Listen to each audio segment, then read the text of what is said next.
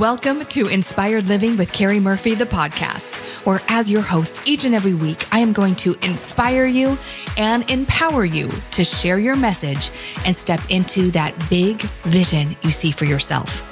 I'll be bringing you celebrity interviews, influencer insights, and my personal tips from decades as an on camera talent, TV host, media expert, and entrepreneur. So you can build a brilliant seven figure brand. Because when you're inspired, you inspire others. So let's go. Hello, welcome back to the show. It is Keri Murphy, and oh my gosh, I am so excited to bring you my girlfriend, Kelly Roach. This woman is one of those women in business you must follow because she is having million dollar months and growing her business at a time where most of us are closing our business or downsizing, right? This global pandemic has really changed things up, but Kelly has figured it out. And in this episode, she is sharing so many truth bombs. It could truly change your life. I mean, it really could. It could change your life. She is the CEO of the Unstoppable Entrepreneur Company. She also has a company she started called Give Her Courage. She's a best selling author. She is seen in media outlets across the country. And more importantly, she has an incredible heart to serve women and, and men in business to grow and scale their businesses, to create the lifestyle that you really desire and see for yourself. Get a pen and paper because this episode just might change your life. Hello, Miss Kelly Roach. Hey, hey. I'm so I'm happy. so happy that you're with me today because, girl, you inspire me truly every day. You inspire me. I'm just trying to learn how to do my makeup. I'm so glad I have you in my life because I need training. As I said, this is what friends are for, right? You help me, I help yeah, you. It's exactly. all reciprocity. women need to support each other, Keri. Yes. We have to come together. We right? really do. we really do. Which we're going to talk about that in a little bit. Kelly, gosh, you know, we could talk so much about your career and your business and what you've accomplished in your life, but I want to go back. I want to go back to when you weren't Kelly Roach as you are today, right? With the unstoppable entrepreneur and what you've grown with Give Her Courage and, and what you continue to grow with your business. But you actually had a really successful corporate career. And I feel a lot of people jump ship from corporate and yeah. move over to entrepreneur land. And how was that for you? And what was it that made you abort ship? Yeah, definitely. So, you know, I spent almost a decade building my corporate career. I climbed the ladder really, really quickly. I was first one in, last one out every single day. I was the girl that went to work every day, full suit, full hair and makeup. You would appreciate this. I was like ready to be the CEO of the company when I was like 21. And in my 20s, I actually became the youngest senior vice president of the company. So I was leading a team of 100 people. I was managing 17 different business units, 17 different locations around the US. And I learned so much. I yeah. value my time there. It's so funny because I, I think that's one of the biggest mistakes people make, actually, Keri, and I'm sure you see this with your community too, they discount their past experience. Oh my They're gosh. like, well, I hated that job. I hated that experience. That wasn't my dream, you know, blah, blah, blah. But I think it's, I think that's actually one of the biggest mistakes that entrepreneurs make because in discounting that, you lose the value of everything that you had to learn through to become who you are today. I was Kelly Overton then. I was not married. I was single. I was just trying to figure out my way in the world. But that's where I learned leadership and coaching and sales and marketing and business strategy, right? I couldn't be who I am today without that experience. But I just got to the point where Billy and I were like, okay, we want to get married. We want to have a family. We want to travel the world together. We have all these big dreams. And you can't do that working 60, uh, 80 hours a week, whatever, in a corporate environment where you're on planes and trains and buses all the time. And I was like, you know, what do I really love and how do I think I can really make a difference? And I knew that statistic of, you know, 85 to 90% of small businesses fail. Yeah, and I was like, you know, it's crazy because these are the hardest working people on the planet. That's right. Right? If you're going to work hardest... 80 hours, you might as well work for yourself, right? Exactly. But it's a very different. Exactly. But I, I think most people that start their own businesses are really good at the thing that they think they're starting a business in. And what they don't recognize is that being a business owner, being a CEO is, you know, 85% leadership, operations, strategy, you know, all the other things. And then that little tiny percent, you're doing the thing that you do. Like I run a coaching company. Right. I coach maybe three hours a week. The rest of my working hours are running the business, right? So Yeah. I, I wanted to bring sales and marketing to the space so that more people that start their dream as a small business owner get to complete their dream as a small business owner and actually have the tools to do it. Yeah, I love the passion we both have in helping entrepreneurs grow and flourish and create impactful, inspiring brands, brands that create wealth, brands that give back, brands that allow them to have the freedom that they actually went into business for. But I want to scooch back just a little bit because when we were talking about discounting our past, I really want to talk about that for a minute because one of the things I hear so much with the entrepreneurs that I work with, and I'm sure you do too, Kelly, is this imposter syndrome. Like i'm not ready to put myself on camera. I'm not ready to share. I'm not ready to do this bigger thing because i don't have the experience but they forget right? Like what got you where you are is everything that you've done in your past. And i think we have to just remember that that you get to crown yourself the expert based upon your experience and please be in integrity with that right like bring the skill set but yes. i find that that is something i hear so much is this imposter syndrome yeah, no, I'm really happy. And, and that's what I was alluding to. I think most people think that when they start a new business, they're starting from zero. I hear this all the time. Right. You're like, I'm starting right. over. I don't have any experience. I don't have any clients. I haven't done this. I haven't done that. And I'm like, whoa, whoa, whoa. Wait a second. What did you just do for 20 years? Yeah. Okay, no, you have all of the experience. You have all of the testimonials. I tell people, even when you're starting a new program, if you need to bring in character witnesses, from mm-hmm. other walks of life, of other projects that you've done, of other careers that you've had, that's absolutely fine to say, this is a brand new program. You're the first person that I'm inviting to work with me in this program. But let me introduce you to Keri, who I led and taught sales and coaching to, you know, for 15 years or whatever. And she accomplished ABC and XYZ, right?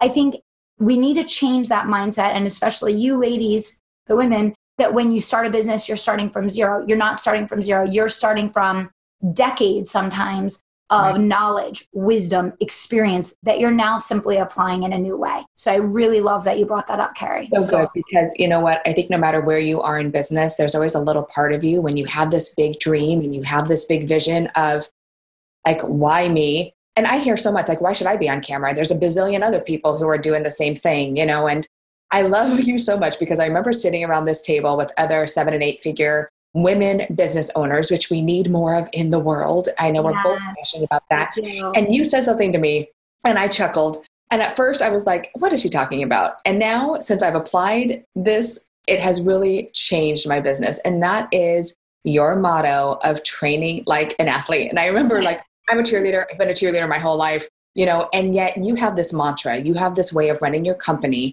that again I find very inspiring and like, holy crap, I better get my sh together because Kelly Roach says train like an athlete. What do you mean by that in business?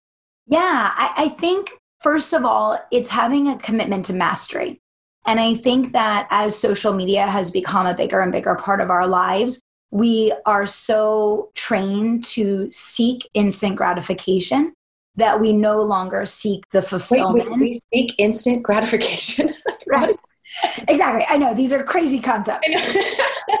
but yeah, so so one, it's mastery. I see a lot of people get really frustrated and overwhelmed and want to quit their businesses or pivot their businesses constantly because they don't feel like they're getting paid what they're worth for the time that they're putting in and they feel like they should be further along than they are and they're not satisfied with how quickly things are moving and the idea of training for your business like an athlete trains for your sport is really all about number one, committing to never ending improvement. It's really believing in the mission and the vision that you say that you're here to create in the world, which is not about what have you done for me lately, but what is what is your lifetime body of work? What is the legacy that you're leaving? And how do you treat every day as an opportunity to learn and grow and improve and develop more mastery of being the CEO of your business and also the leader to your market and to your clients, right? That's one piece of it. The other piece of it is running drills. So, biggest mistake, hands down, that keeps entrepreneurs broke, stuck, overwhelmed, stressed out, burnt out is just the, the constant entrepreneurial ADD. And it's an impatience and it's getting bored and constantly wanting to change things. Okay, so I really want to make sure you're listening to this invaluable advice right? It's like master something. I say shift from generalist to specialist, like get known, get really good at something. And then you're talking, Kelly, about like being consistent, right? Like not aborting ship, bright, shiny object syndrome that most entrepreneurs, you know, really suffer from. And then they're saying, why aren't I getting results? Ex- exactly. And I'll, I'll, give the perfect example. Um, you know, we were chatting the other day on the millionaires call and we were talking about, um, you know, changing focus, you know, for launches. And, and I was sharing with the group, I've been doing the same launch every six to eight weeks for two and a half years. Keri, I, two and a half years. Two and a half years. Same content. Same content. Same content. Same content. I went from Keri doing launches, and you know this because you know my story where I was losing money or breaking even, literally spending a month and thousands of dollars to maybe get, I don't know, seven sales tops, right? We had our a million dollar month last month in our business. And it is because we committed to the follow through and the execution of the fundamentals over and over again. Everyone always wants to know what the magic secret is. What's the magic secret? What, what's that special thing that you're doing? I'm like, nope, I'm like, we're just so committed to the execution of the fundamentals over and over and over again. It's not the market that gets bored, everybody. Listen to what I'm saying. It's not the market that's getting bored, it's you, right? And when you commit to following through, your whole life, your whole business, everything changes.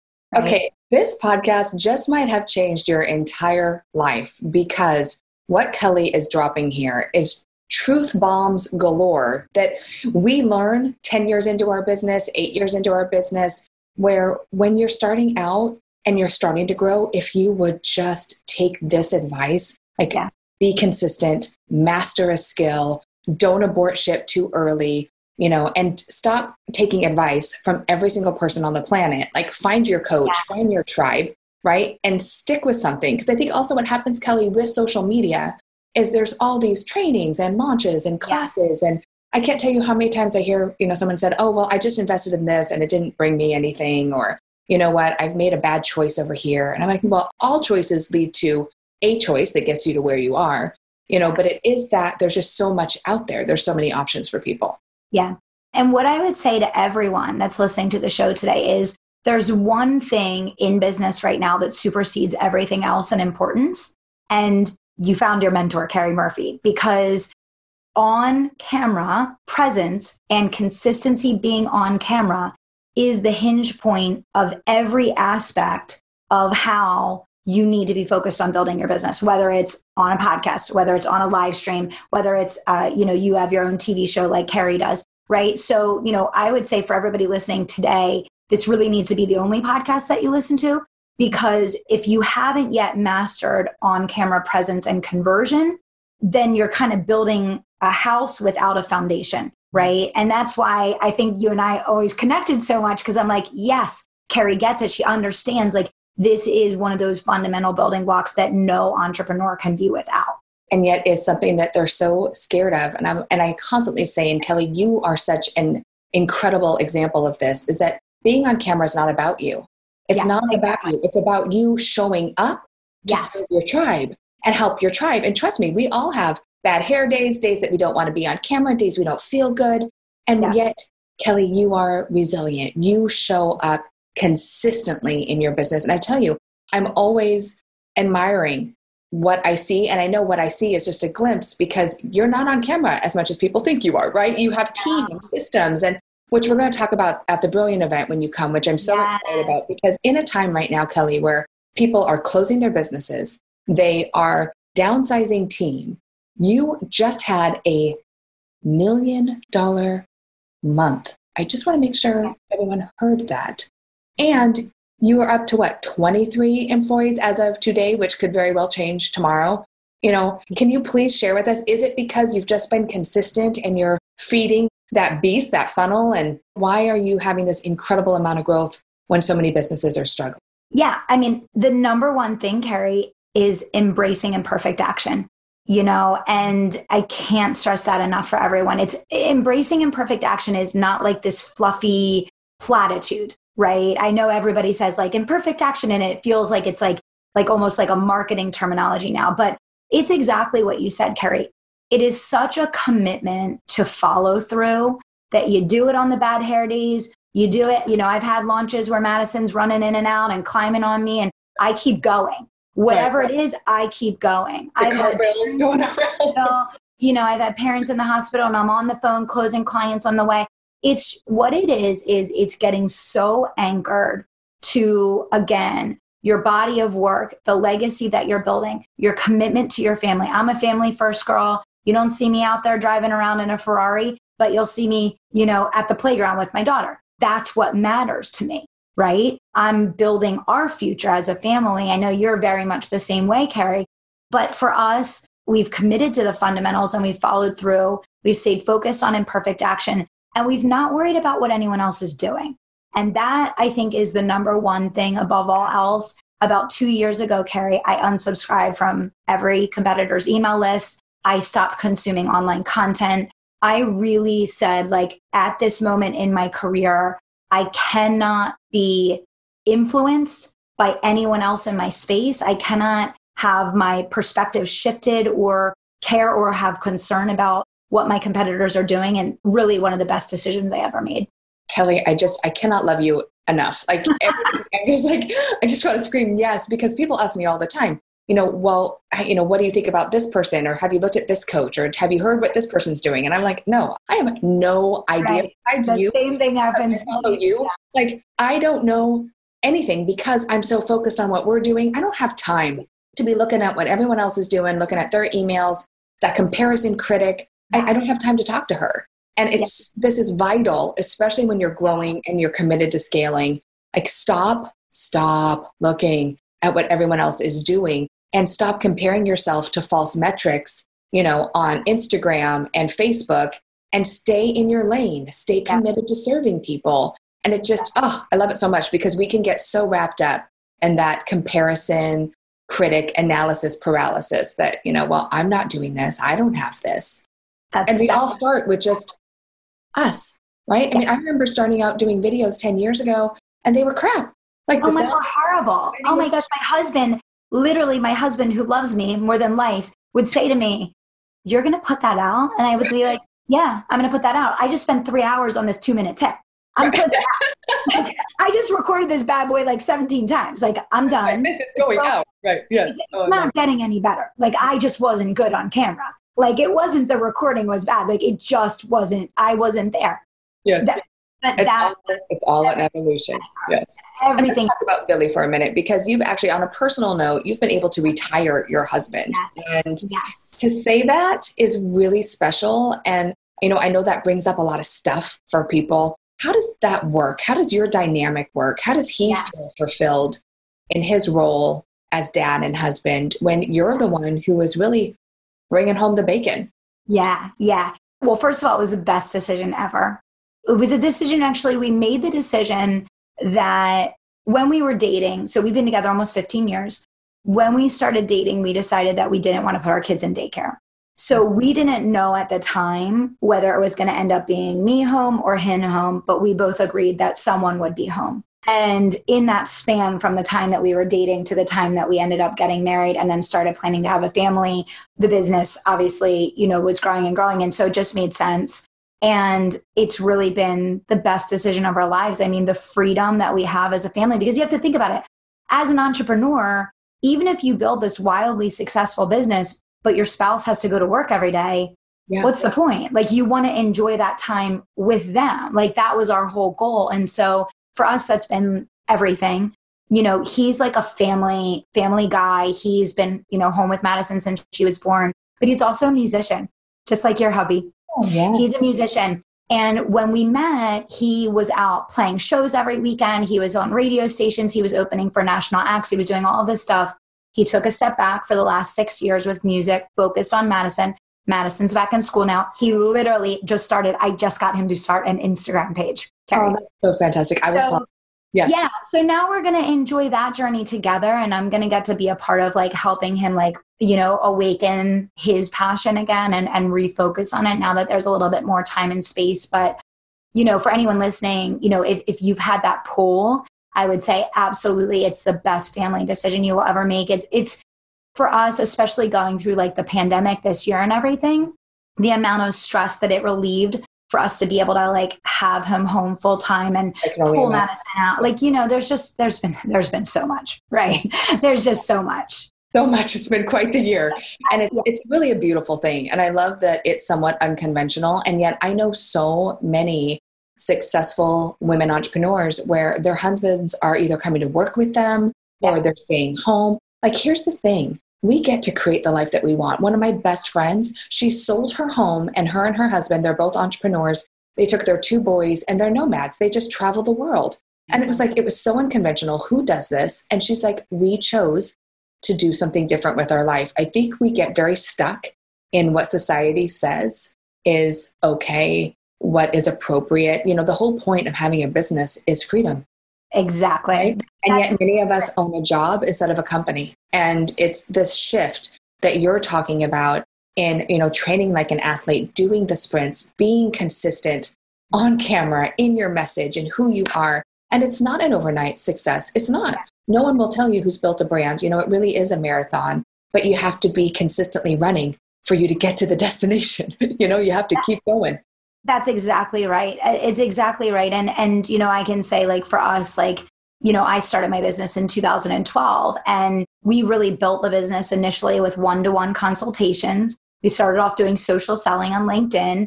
We hadn't figured out, you know, the launch process yet. It took us a very long time to figure that out and you know, finally we did with the live launch and all of that. But, you know, now we're at a point where like, you know, I just did my schedule for the new year. I'm taking a week off each month. I have two companies, so I only work three days a week in the coaching company. And I have a leadership team and I have staff. So I, I can do that and the business will still grow. It's no longer me, right? There's a separation between me and the company.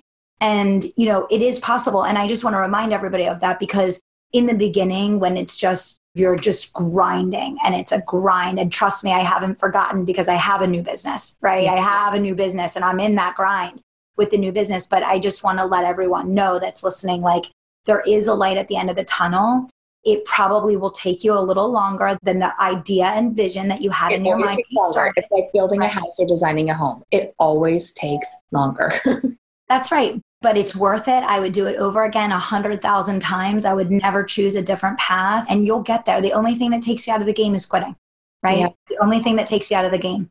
You know what, Kelly? I hand select the five to six speakers I bring to Brilliant every year. And I'm always like, gosh, who do people need? What is it going to be? Because there's so many people that have great advice and businesses out there that they've grown. And I invited you this year, and I invited you for a couple of reasons. One, again, everything that you've said today, how you show up in this space, how you show up as a leader, the fact that you have built an eight figure business, you're having million dollar months, and yet you still remember the grind. You know, you're still like, hey, what I love so much about you is like, how can I help? Like, mm-hmm. ask me anything. Like, what do you mm-hmm. need? And uh-huh. you're you're just you you come from that abundance mindset. And I think as women, sometimes when we reach a certain level of success, we're like, oh well, I don't want to share my secrets. I don't want people to know. And that's why I invited you to Brilliant because our speakers are like, let me tell you exactly what I'm doing. Yes. That's getting me this result. And right now, you have conquered, crushed this live launch thing that you've just written a book about, you're going to be talking about. We adapted it right before the pandemic. And I am telling you, Kelly, from someone who was like, we were so in growth mode, we were really busy doing our in person events. If we had not implemented this, and you're like, Keri, you have to do it. And here I am, someone who's on camera all the time, and I resisted. Yes. Yes. And here I am, like, we do six figure launches. We're going to get to that seven. Will you share with us a little bit about what that is and what we can expect to learn from you at Brilliant this year? Yeah, definitely. And and thank you. And I'm so excited to get to be a part of Brilliant because I know the people that you attract and the amazing, incredible community that you've built. And it's it's gonna be magic. So I'm so excited to be a part of it. Thank you for having me. Yeah. So I'm going to really dig in and actually teach you guys the live launch model. And you know, what I always say, and I say this to my team every day, I'm like, I just want to remind you all that our clients are coming in in one month and they're generating six and multiple six figure launches. It took us over five years of launching to get to our first six figure launch. So, literally, that is the power of the model that we're teaching.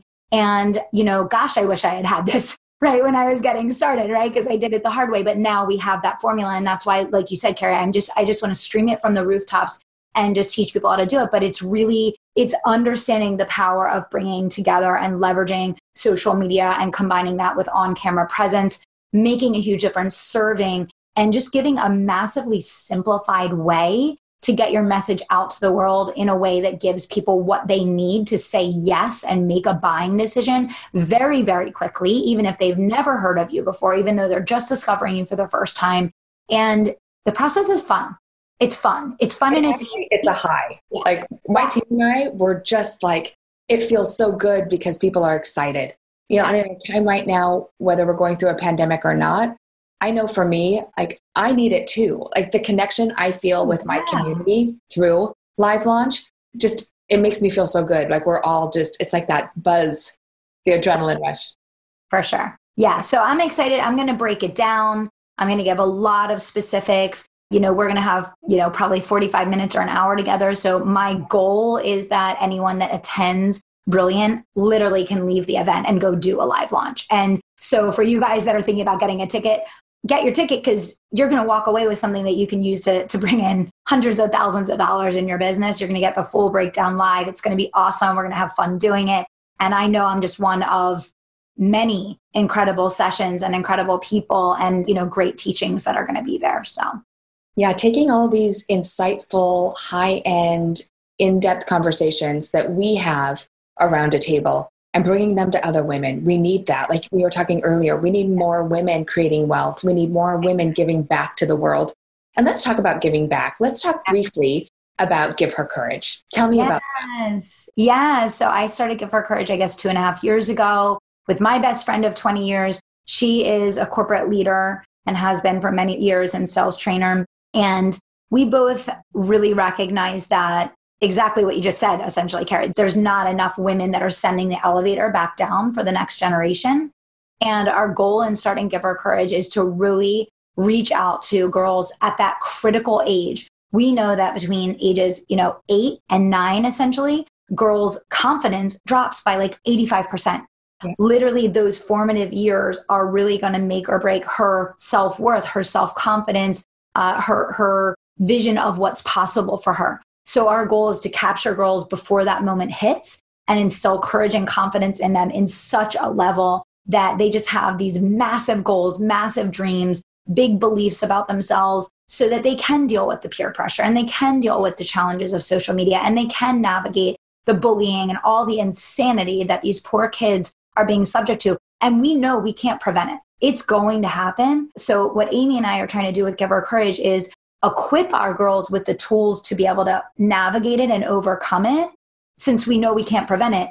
And it's going to allow these girls, when they see that going on over there, they're going to be like, I have such big dreams. I have such big goals. Like, I'm not getting involved in that. Like, you guys kill each other over there. I'll be over here. Right? Each other down over there. I'm going yeah, Exactly. You guys do your thing. And so, you know, it's incredible. So, we run an academy. It's called the Courage Academy. And it's really designed to teach girls all of these principles around self worth, self confidence, leadership, effective communication, being on camera, all of these things. And then, of course, we have the fun part, which is we have a retail store, we have a retail line with some really fun, cute, trendy stuff that just gives people an opportunity to wear something that has a message of courage and power. Again, coming back to this idea of women empowering women, women lifting each other up. And that's really the message that we're trying to get out in the world. Uh, I love it so much. I can't wait. We'll be sending Lauren through that as well. You know, it's like she's five, and it's interesting because I, I studied quantum physics and physics and NLP, and it was when I found out that you know between eight and twelve, the critical factor in your brain is being developed, and that is when you start feeling self doubt and lack of confidence, and ego really comes in. Before that, before seven, that's not developed yet. So this program at this age can truly change the trajectory of some of these young girls' lives as this critical factor is being developed and they're starting to feel all those feels, you know, that I yeah. still were as a kid. That's what we're hoping. That's the vision. And I think we need more strong women leaders, but we also need more women that are linking arms with other women. And, you know, the hope and the goal is that this really starts, you know, a movement and, and impacts the next generation significantly. Absolutely. Well, I'm going to help you with this movement as much as I can, Kelly. So tell me, what does inspired living mean to you? I think it's living in alignment, right? Mm-hmm. I, I, think it's living in alignment. I think inspired living is living a life that you feel allows you to channel your passion, be who you really are. You know, use your gifts in a meaningful way and to do it without feeling like you have to fit in a certain box, you know, be a certain way, compare a certain way. I think it's really just being on purpose. Yes. Could not agree with you more, Kelly. Thank you so much. I cannot wait to have you at Brilliant this year, even though it's virtual. It will be just as amazing and transformational. We're going to link arms together and we're going to continue to help women grow and scale their businesses. If you want to join us this year, go get your ticket. Stop thinking about it. Go to thebrilliantevent.com. Come join Kelly and I and an incredible lineup of women who have built seven and eight figure brands from the ground up through their passion, their tenacity, their drive, mistakes, right? We've all made them, and great successes. So I really hope you will join us for Brilliant coming up September 13th through the 15th. Kelly, if I was to ask you, what is your number one piece of advice? What would it be? Ooh, I have, I have so many. I, I would say, I would say just be the best that you can be in everything that you do.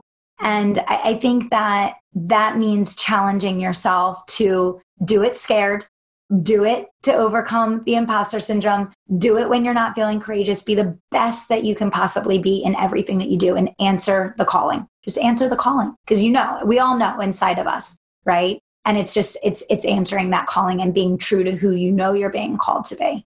Yep you're not given a vision without a way to make it happen right? So kelly love you. Thank you so thank you so, so much. much. And uh, we'll see you soon You've just heard another uplifting episode of Inspired Living with Keri Murphy, the podcast. I hope you loved it. If you haven't yet, please subscribe, rate, and review this podcast. And if you'd like to know more about Inspired Living or to get your hands on many of our awesome free resources, such as the Be Studio Ready Guide, simply visit us at inspiredliving.tv forward slash podcast. Remember, your vision is your destiny, and we're here to help you bring it to life. Join me again next week for another extraordinary episode.